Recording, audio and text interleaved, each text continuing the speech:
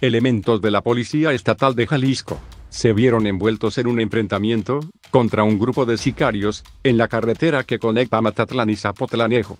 Durante un recorrido de vigilancia, fueron atacados por sujetos armados, que abrieron fuego contra los oficiales. A pesar del intercambio de disparos, ninguno de los agentes resultó herido, aunque las unidades policiales sufrieron daños en el incidente. Tras el ataque, los sicarios huyeron. Las autoridades de seguridad han lanzado un operativo de búsqueda para dar con los atacantes y llevarlos ante la justicia. Este evento resalta los desafíos persistentes a los que se enfrentan las fuerzas del orden en su tarea de mantener la seguridad en la región, y subraya la importancia de sus esfuerzos continuos para salvaguardar la tranquilidad de la comunidad.